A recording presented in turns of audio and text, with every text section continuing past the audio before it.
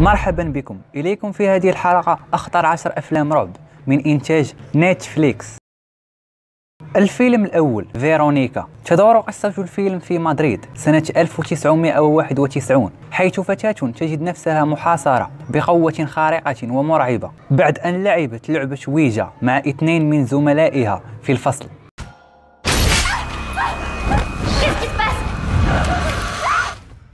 Qu'est-ce الفيلم الثاني تشريح جيندو. يتم جر أب وابنه كلاهما من المحققين الشرعيين. في لغز معقد أثناء محاولتهما التعرف على جثة امرأة شابة أنها كانت تحتوي على أسرارا مظلمة ومرعبة.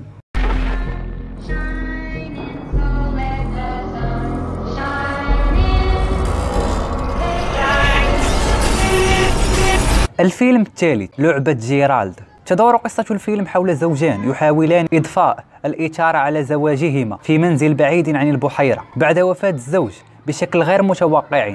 تركت الزوجة مكبلة اليدين إلى هيكل سريرها وعليها الكفاح من أجل البقاء والتحرر.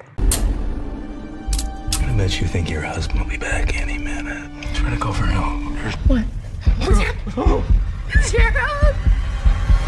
الفيلم الرابع أرواح شريرة. تدور أحداث الفيلم حول إحدى العائلات التي انتقلت حديثا إلى منزل في الضواحي والذي تم غزوه من قبل الأشباح. في البداية تظهر الأشباح بشكل ودي حيث تحرك الأجسام من أماكنها فأخذت العائلة الأمر على سبيل اللهو والتسلية. لكن سريعا ما تتحول إلى أشباح شريرة وتبدأ في ترويع الأسرة قبل أن تختطف الابنة الصغرى من قبل الأشباح.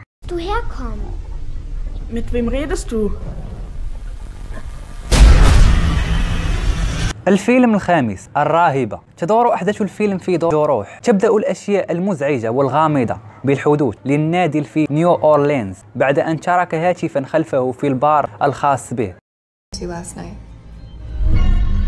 There was these college kids. They left a cell phone there.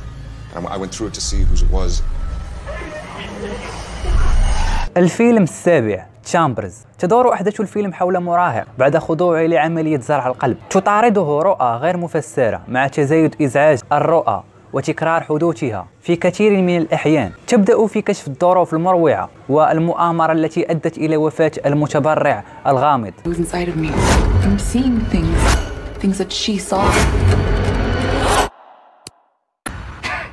الفيلم الثامن بولارويد تدور قصة الفيلم حول المنعزلة في المدرسة بيرد بيتشر. ليس لدى الثانوي أي فكرة عن الأسرار المظلمة المرتبطة التي تجدها. لا يستغرب الأمر. بولارويد بكاميرا وقتا طويلا لاكتشاف أن هؤلاء الذين التقطوا صورهم بها سيموتون قريبا.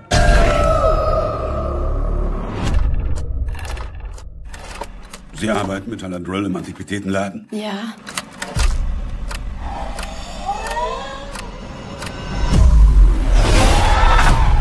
الفيلم التاسع إيلي. تدور أحداث الفيلم حول إيلي ميلرز. هو صبي يعاني من مرض نادر بسبب حساسية شديدة تجاه الهواء المطلق مما يجبره على أن يعيش حياته في ملابس واقية. اصطحبه والديه روز وبول إلى المركز الطبي المعزول للدكتورة إيزابيل لاهورن وهو منزل كبير وقديم تم تطويره ليصبح حجرا صحيا.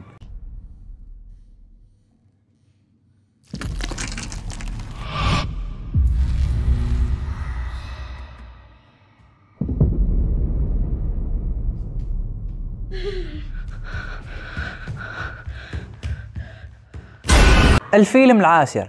كام. تصيعد أليس. فتاة الكاميرات الطموحة ذات يوم لتكتشف أنه تم استبدالها في برنامجها بنسخة طبق الأصل من نفسها.